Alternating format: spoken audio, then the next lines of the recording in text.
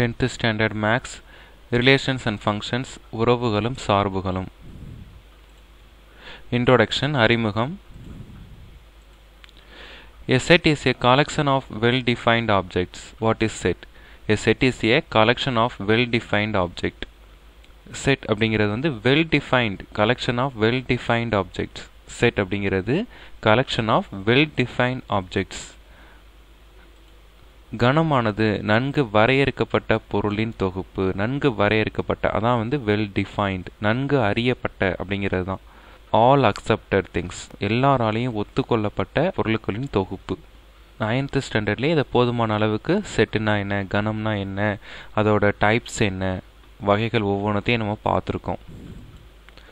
வரிசை ஜோடிகள் ஆர்டர்ட் பேர் இதுதான் இந்த புதுசாக நம்ம இந்த ரிலேஷன் ஃபங்க்ஷன் உறவுகளும் சார்புகளும் நம்ம படிக்க போகிறோம் வரிசை ஜோடி ஆர்டர்ட் பேர் ஆர்டர்ட் பேர் அப்படின்னா where a pair of numbers written a particular order where a pair of numbers written in a particular order துல்லியமாக குறிக்கின்ற எண்களின் ஜோடிக்கு பேர் ஆஃப் நம்பர்ஸை ஒரு பர்டிகுலர் ஆர்டரில் நம்ம எழுதணும் அப்படின்னா அதுதான் வந்து ஆர்டர்டு பேர் எண்களின் ஜோடி. இதுதான் வந்து வரிசை ஜோடி.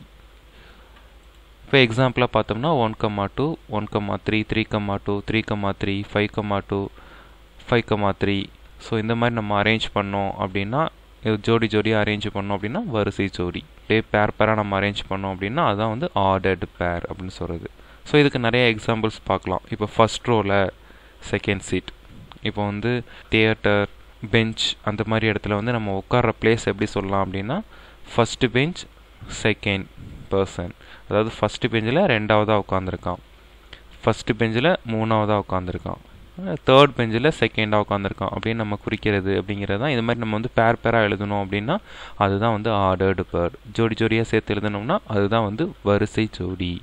ஸோ இதுதான் இப்போ வந்து புதுசாக நம்ம இதில் படிக்க போகிறோம் நெக்ஸ்ட் வந்து முக்கியமானது கார்டீஷியன் பெருக்கல் கார்டீஷியன் ப்ராடக்ட் இதுதான் வந்து இதில் நம்ம படிக்க போகிறோம் so definition if A and B are two non empty sets non empty sets அப்படின்னா அதில் வந்து எலிமெண்ட்ஸ் இல்லாமல் இல்லை. கண்டிப்பாக அதில் வந்து எலிமெண்ட்ஸ் இருக்கணும். Then the set of all ordered pair A comma B such as set of all ordered pair A comma B அப்படின்னு நம்ம எடுத்துக்கலாம். அது எப்படி இருக்கும்னா A A belongs to set A B belongs to set B is called the Cartesian product of A and B and is denoted by A cross B so இந்த சிம்பிளை வந்து read as A cross B cross அப்படின்னு நம்ம read பண்ணணும் thus A cross B equal to A comma B such that A belongs to A B belongs to B A belongs to set A B belongs to set B வரையறை A மற்றும் B என்பன இரண்டு வெற்றிலா கணங்கள் எனில் இவற்றின் வரிசை ஜோடிகளின் கணமானது A comma B A belongs to கணம் ஏ பி பிலாங்ஸ் டு கணம் பி என இருக்கும். இதை ஏ மற்றும் பியின் கார்டீஷியன் கார்டீசியன் பெருக்கல் என்கின்றோம். எனவே A cross B equal to A comma B such that A belongs to கணம் A B belongs to B. A cross B என்பதை ஏ கிராஸ் பி என படிக்கவும். இந்த கிராஸுங்கிற சிம்பிள் வந்து கிராஸ் தான் நம்ம படிக்க போகிறோம் ஸோ இது வந்து ஒரு எக்ஸாம்பிளோட இதை எப்படி நம்ம புரிஞ்சுக்கலாம்? இப்போது செட் ஏ கணம் ஏ அப்படின்னு நம்ம ஒன்று எடுத்துக்கலாம். இதில் இருக்கக்கூடிய உறுப்புகள் என்னென்னு இப்போ பார்த்துடலாம்.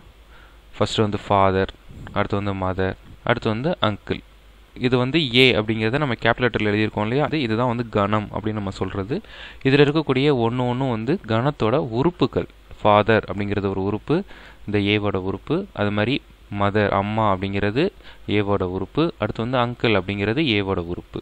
இங்கிலீஷில் சொன்னோம் அப்படின்னா இது வந்து செட் ஏ ஏங்கிறது செட் ஏ இது ஃபாதர் மதர் அங்கிள் அப்படிங்கிறது elements elements of the A எலமெண்ட்ஸ்னு சொல்கிறது ஃபாதருங்கிறது ஒரு எலமெண்ட் மதருங்கிறது ஒரு எலமெண்ட் அங்கிள்ங்கிறது ஒரு எலமெண்ட் அதே மாதிரி பி அப்படிங்கிற செட் பார்க்கலாம். பிங்கிற கணம். ஸோ இதில் இருக்க எலமெண்ட்ஸ் உறுப்புகள் என்னென்ன பார்த்தோம் அப்படின்னா சன் அப்புறம் டாட்டர் ரெண்டு பேர் இருக்காங்க.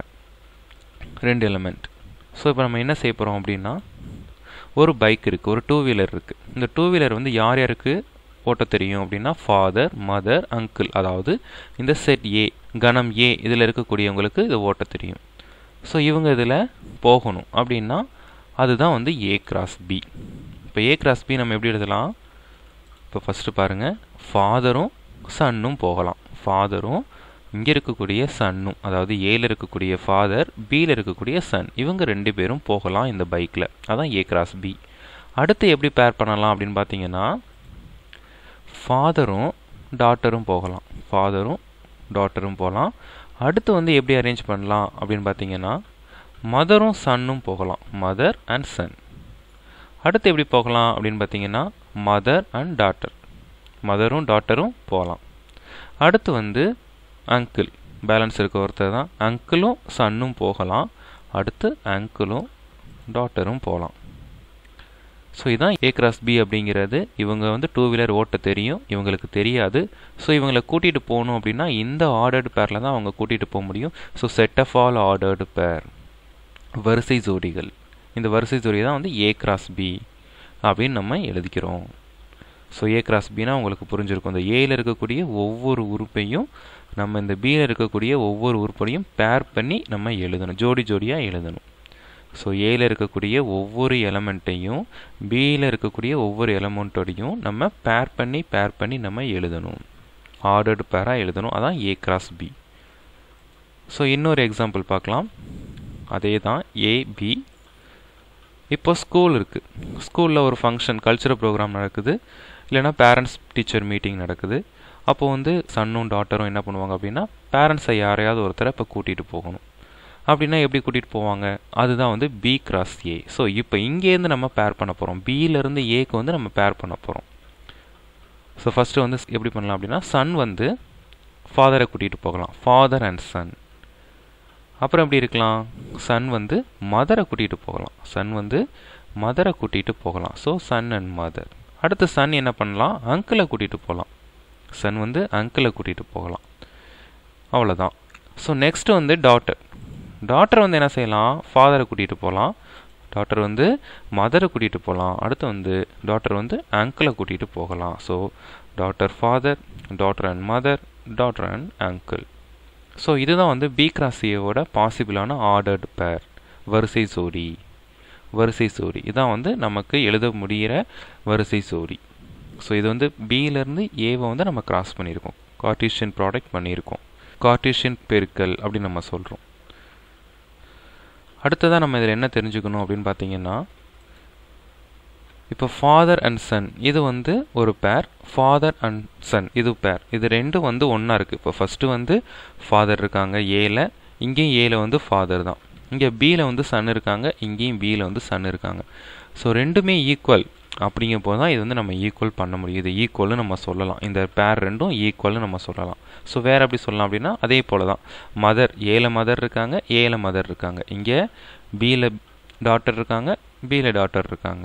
அப்போது இதையும் நம்ம என்னென்னு சொல்லலாம் அப்படின்னா ஈக்குவல் அப்படின்னு நம்ம சொல்லலாம். இப்போ தான் நம்ம வந்து இதை சமம்னு நம்மளால் சொல்ல முடியும். அதே போல் எப்போ வந்து நம்ம சமம் இல்லை அன்ஈக்குவல்னு நம்ம எப்போ சொல்ல முடியும் அப்படின்னு பார்த்தீங்கன்னா இப்போ பாருங்கள் ஏல வந்து ஃபாதர் இருக்காங்க ஆனால் இங்கே ஏல வந்து சன் இருக்காங்க. இங்கே பியில் வந்து சன் இருக்காங்க ஆனால் இங்கே பியில் வந்து ஃபாதர் இருக்காங்க. இங்கே பியில் வந்து ஃபாதர் இருக்காங்க. ஸோ இது ரெண்டும் மாறி மாறி இருக்குது அப்போ இது வந்து என்ன அப்படின்னா அன்ஈக்குவல் நாட் ஈக்குவல் ஸோ அதே போல் தான் இங்கே. இங்கே வந்து ஃபஸ்ட்டு மதர் இங்கே வந்து டாட்டர் இருக்காங்க. செகண்டாக இங்கே டாட்டர் இருக்காங்க. இங்கே செகண்டாக வந்து மதர் இருக்காங்க. ஸோ மாறி மாறி இருக்குது மாறி மாறி இருந்தாவே அது வந்து என்ன அப்படின்னா அன்ஈக்குவல் நாட் ஈக்குவல் அப்படின்னு நம்ம சொல்லிடலாம். ஸோ இப்போ ஈக்குவலுக்கும் நாட் ஈக்குவலுக்கும் உங்களுக்கு வித்தியாசம் புரிஞ்சிருக்கும்னு நம்புகிறேன் ஸோ தொடர்ந்து நம்ம எக்ஸாம்பிள்ஸும் பார்த்துட்டு எக்ஸசைஸும் பார்க்கலாம். இது உங்களுக்கு புரிஞ்சிருக்கும்னு நம்புகிறேன் தேங்க்யூ